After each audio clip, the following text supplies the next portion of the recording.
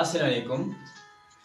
In today's segment, we'll talk about the poem The Wolf's Postscript to Little Red Riding Hood, written by आगा शाहिद अली आज के segment में जो बात करने वाले हैं वो आगा शाहिद की लिखी poem the wolf's postscript to little red riding hood उसके बारे में बात करने वाले तो सबसे पहले let's have look at the title title के बारे में देखेंगे।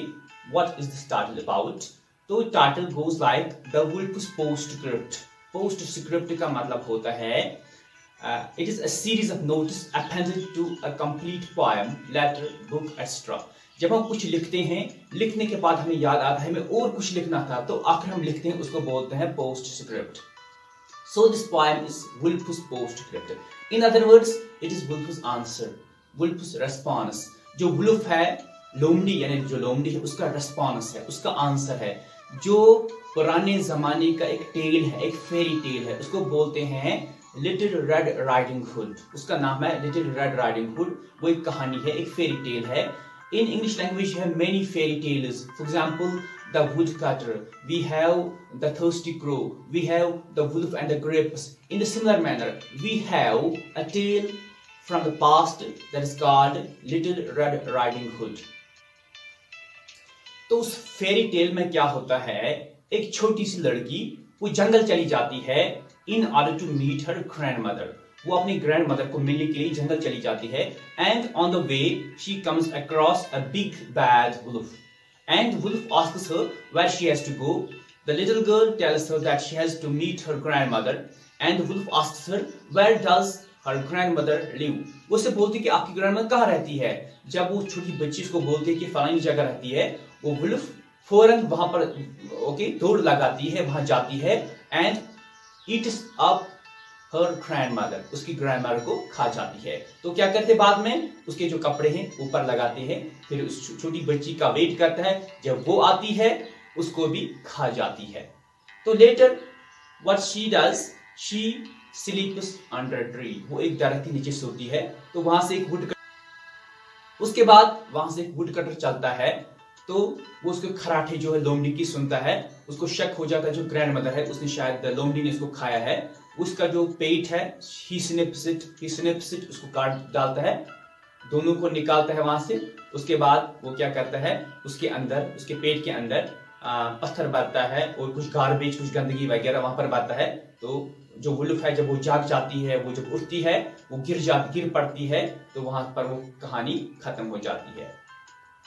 So, in the wolf's postscript Little Red Riding Hood, Aga Shahid Ali inverts the classical European tale. It is the wolf's.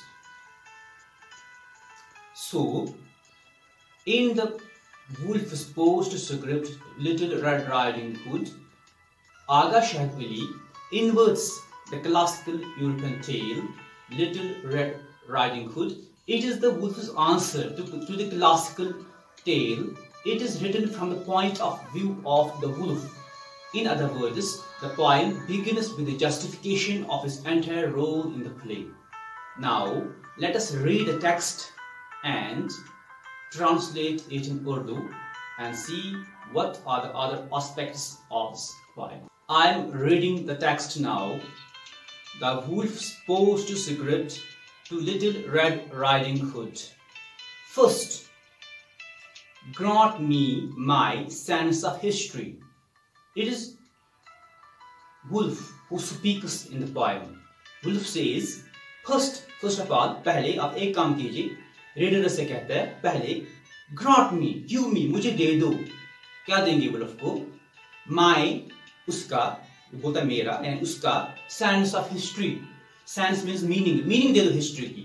अगर आप इसको मीनिंग देंगे, इसका मतलब होता है he is a big bad wolf यहाँ पर मैं आपको एक बात क्लियर करता चलूँ।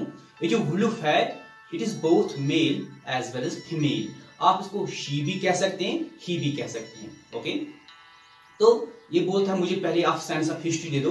यानी इसका मतलब है, आप जरा मीनिंग एसिड करो मेरे साथ, मैं क्या हूँ?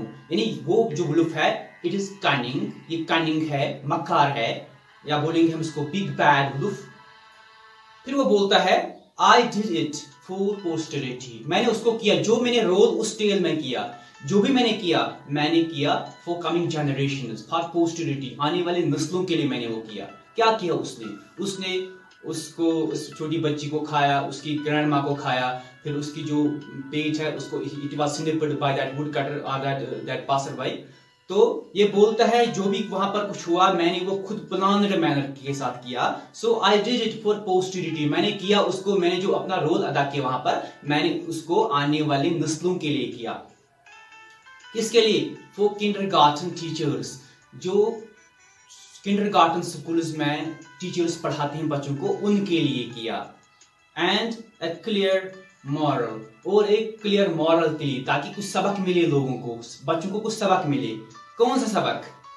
कि little girls shouldn't wander off जो छोटी छोटी लड़कियाँ होती उनको घूमना नहीं चाहिए, उनको दर बदर नहीं घूमना चाहिए। दे शुड नॉट बाँध they should not move here and there aimlessly in search of strange flowers they should not wander in search of strange strange flowers this poem or this line we can say is a symbolic line every poem is a symbolic poem uska it has one meaning at the superficial level and another meaning at the deeper level agar hum dekhenge this poem so far as this symbolism is concerned it means that the little girls should not wander in search of uh, uh in search of lovers. They should not try to search love here and there. Here, flower is symbol of love. So they must they must not speak to strangers. उनको क्या उनके साथ बात नहीं करनी चाहिए। रास्ते पर कोई मिले, उसे बात करें, उनको ऐसा नहीं करना चाहिए। Second stanza and then grant me my general sense of plot आप और एक काम कीजिए। बुल्लुफ हमसे कहता है रीडर से। और आप एक काम कीजिए। आप ज़रूर प्लाट मुझे दीजिए। यानी आप उस कहानी को याद करो। Plot mean story the series of events in story आप उस प्लाट को याद करो। फिर वहाँ पर क्या हुआ था? उस पुरानी स्टोरी में क्लासिकल फेरी टेल बोलता है I have gobbled her up? क्या मैं उसको वहाँ पर ही खा नहीं सकता था? Right there in the jungle जंगल में ही उस बच्ची को जंगल में नहीं खा सकता था मैं। Did I ask her where her grand grandma lived? मैंने उससे क्यों पूछा कि उसकी ग्रैंडमा कहाँ रहती है? As if I, a forest dweller, didn't know of the cottage इसका मतलब ये हुआ, क्या उसका मतलब ये हुआ कि मुझे पता ही नहीं था उसके ग्राम ग्राम का कटेज कहाँ है? क्या मैं फॉरेस्ट का रहने वाला नहीं था? Dweller means one who lives okay रहने वाला। Under the under the three oak trees मुझे पता था, वो रहती थी इसकी grandma under the three oak trees and old woman lived there all alone और जो ओल्ड वुमन है, बूढ़ी औरत है, वो वहाँ पर अकेले रहती थी। As if I couldn't have swallowed her years before क्या मैं इसको बहुत सालों पहले नहीं खा सकती थी swallow means निकलना या नहीं निकल सकती थी and you may call me the big bad wolf और आप मुझे कह दो and you may call me the big bad wolf आप मुझे कह सकते हो big bad wolf आप मुझे नाम दे सकते हो now my only repetition अभी मेरा नाम है रिपीटेशन है, शोहरत है, लोग मुझे इसी नाम से जानते हैं। But I was no child molest मगर मैं उस बच्ची का असॉल्ट करने वाला नहीं था सेक्सुअली असॉल्ट करने वाला नहीं था मोलिस्टर नहीं था। Here again this molester signifies that it was not actually wolf it was some human being ये कोई ह्यूमन बीइंग था, कोई इंसान था okay okay? So this wolf is a symbol of some persona ये किसी इंसान का ओके सिंबल है यहाँ पर। But I was no child molester though you will agree she was pretty the girl was very beautiful you will agree that also but I didn't molest her and the huntsman was sleeping while my black fur fur. वो जो huntsman है आपको क्या लगता है? मैं तब सोया हुआ था जब उसने मेरा आ, मोटा खाल मो, मोटी खाल को काटा। आपको क्या लगता है? Huntsman means hunter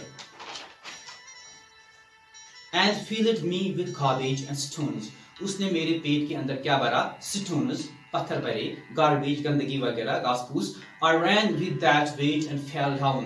मैं उस वेट के साथ भागा और मैं नीचे गिर गया। क्यों कर गया? आपको पता है क्यों? Simply so children could laugh ताकि बच्चे जो हैं, वो हंसे। इसीलिए मैंने ऐसा किया। वरना मैं ताकतवर था, होशियार था कनिंग था बिग बैड ग्रुप था, मैं कुछ भी कर सकता था। At the noise of stones वो बच्चे हंसे। किस पर? एट नॉइस जब शोर हो जाए, जब शोर करे वो स्टोनस जब वो गिरे, उनकी आवाज़ जब निकले। कथिंग थ्रू माई बैली जब वो मेरे पेट को काट रहे थे। At the garbage at the garbage spring out जैसे कि जब गार्बेज मेरे पेट से निकल रहा था with a perfect sense of timing वो किसी खास प्लान के साथ था it means he acted all the way to make the small children laugh He performed every act as per his plan and time so that he may provide some entertainment to school going children. Just when the tale should have come to an end, तब जब वो tell जब वो कहानी खत्म होनी चाहिए थी उसी वक्त खत्म हो गई। तो बच्चों के लिए क्या हो गया? आखिर में बच्चे हंसे। So this tale is recount return from that past tale that is little red riding hood and the point has adopted it in a beautiful manner and here and this beautiful poem hope you have understood thanks for attending don't forget to subscribe like and share the video thanks